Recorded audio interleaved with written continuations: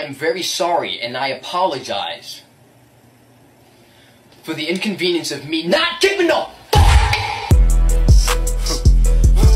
Yeah. Yeah. Look. Look. Hey.